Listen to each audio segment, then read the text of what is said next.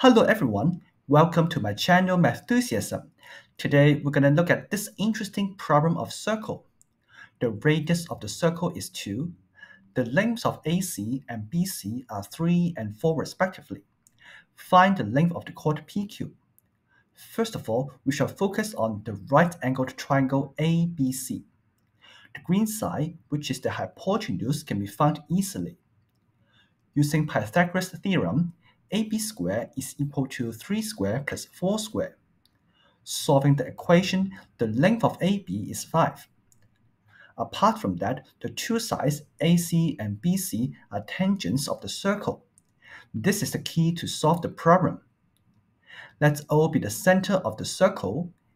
AC and BC touch the circle at the points D and E respectively. If we draw the radii OD and OE, then alpha and beta are 90 degrees. The reason is tangent perpendicular to radius. Now, we look at the blue quadrilateral ODCE. Because the three interior angles are 90 degrees, using angle sum of polygon, the fourth angle gamma is also 90 degrees. In other words, we can say that ODCE is a rectangle. This is a nice figure because we have two pairs of equal opposite sides.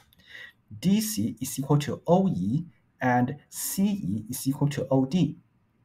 Because OE and OD are both radii, which is 2, therefore the lengths of all the four sides are also 2.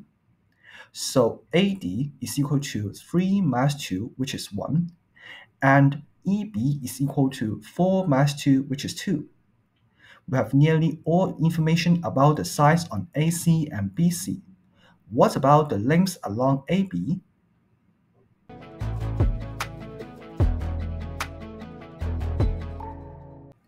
Let BP equals to x and BQ equals to y.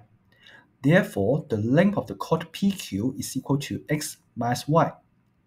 We are going to use a really important theorem of circle. It is called the tangent secant theorem. Let's take a look at that. In the figure, AB is a tangent of the circle. ACD is a straight line cutting the circle at two points. We call it a secant of circle. Then AC times AD is equal to AB squared. If you want to know the proof of this theorem and other theorems in the secant family, let me know in the comment section. I shall make a video on that. Now we can go back to the original figure. Because BE is a tangent, BQP is a secant, so by tangent secant theorem, we have BQ times BP is equal to BE squared. That is, x times y is equal to 2 squared, which is 4. Let's call this equation 1. To solve for the two unknowns x and y, we need two equations. Let's apply the theorem again. By how? This time, we look at the tangent AD and secant APQ. Therefore, AP times AQ is equal to AD squared. Let's check out the lengths of AQ and AP. Bear in mind that the hypotenuse AB is 5. From the figure, AP is equal to 5 minus x, and AQ is equal to 5 minus y.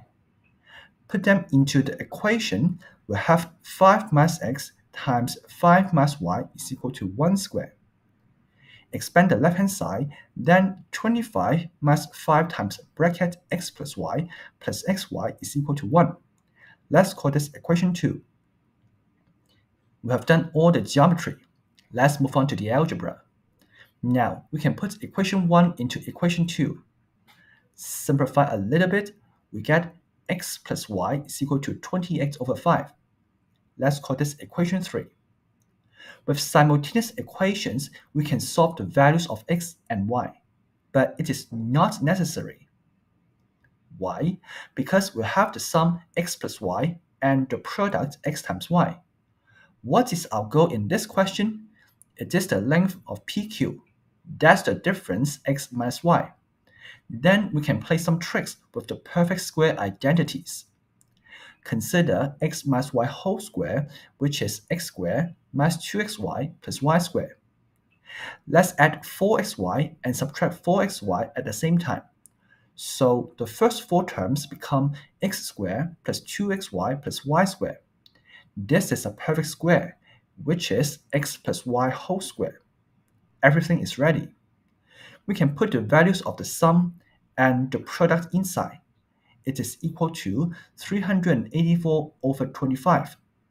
So PQ is equal to x minus y, which is the square root of 384 all over 5.